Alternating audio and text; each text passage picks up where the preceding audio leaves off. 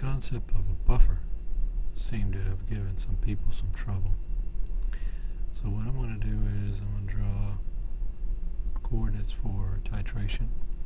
We'll have base, uh, or hydroxide ion, on the x-axis, and of course on the y-axis we have pH.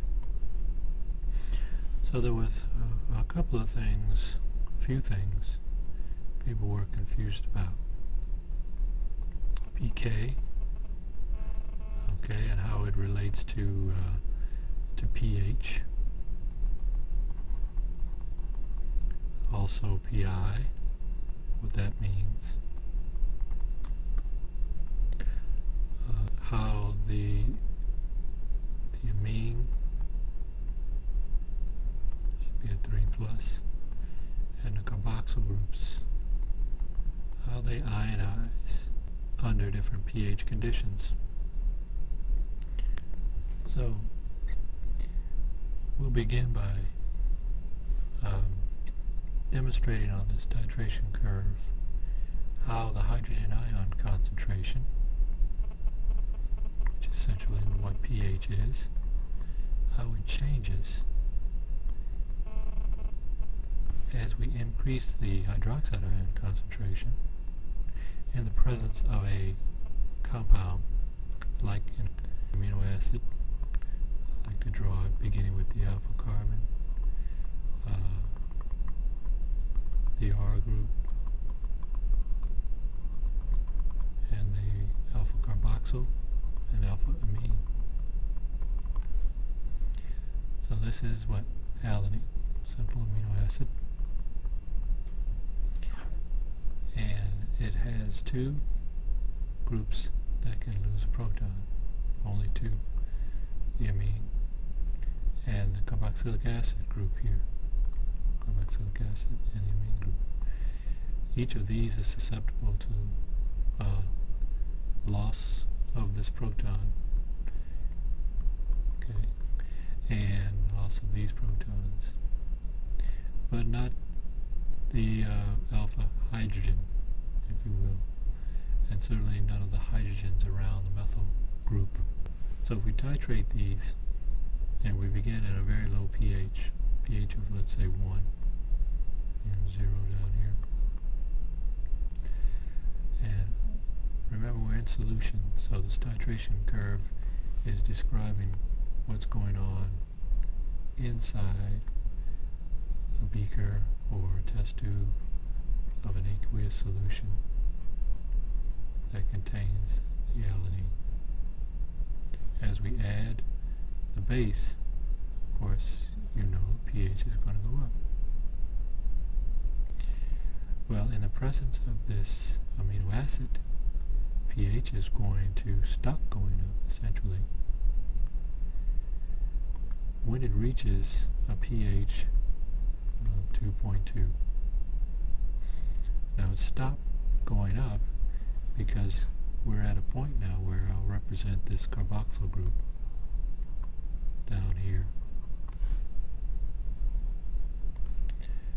The carboxylic acid now can lose a proton and form the carboxylate, the negative charge. And this is an equilibrium. There are equal concentrations at this point here, at the pK. And so this is your acid. We represent that as usually as HA for any molecule. Is in equilibrium with the conjugate base, which is essentially the base of the acid. That's why it's referred to as conjugate. Now if we continue to add base to this solution here, and this is kind of like a titration, you all have had the titration. Uh, as we continue to do that, the pH will begin to go up again. And it's because we have gone beyond the equilibrium of the acid and conjugate base. Now we're all, it's all in the form of this conjugate base. And once we get to a point where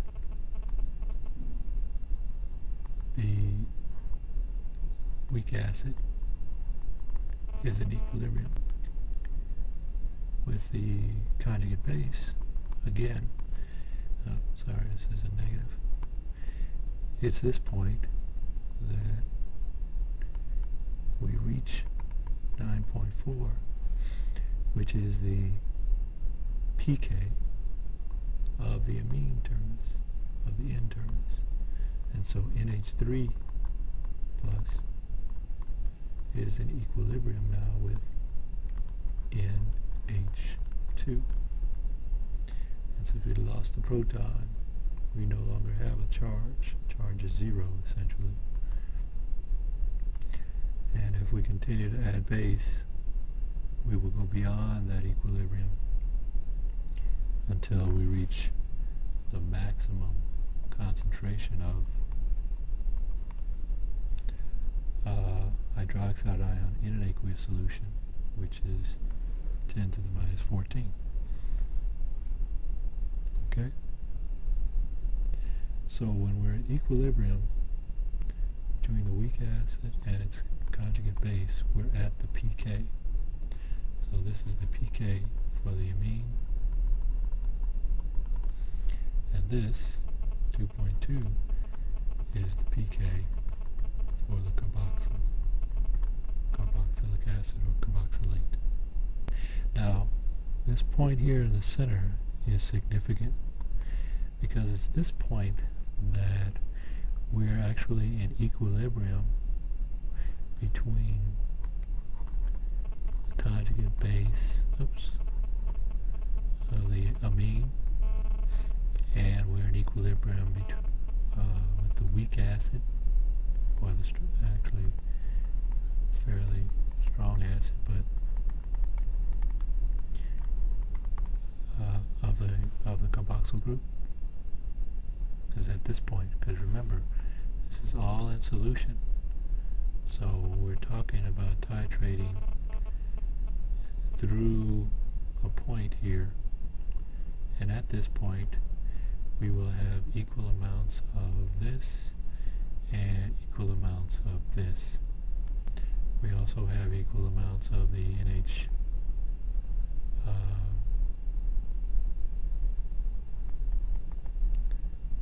three plus, which is also considered a weak acid, and we are also in equilibrium with this OO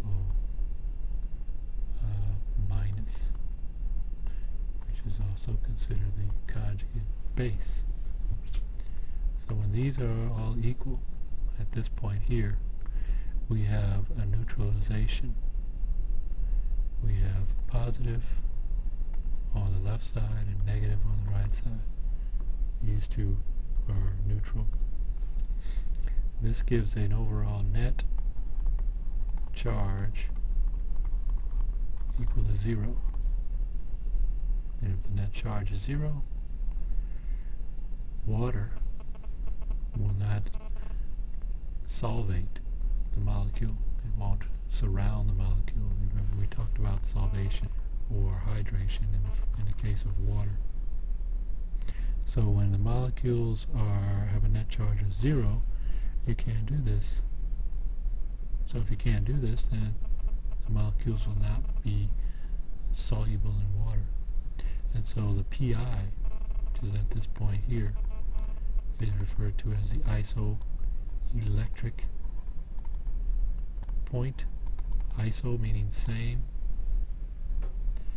and the protein, the amino acid polypeptide will precipitate, will come out of solution. And uh, so we have to, we use this actually to isolate proteins. We use a PI value. Solubility above and below the PI uh, will be the greatest, and the PI will be the least if, if it's at all soluble.